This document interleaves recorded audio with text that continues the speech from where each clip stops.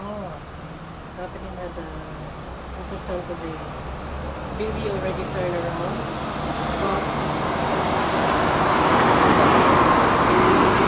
there's a cord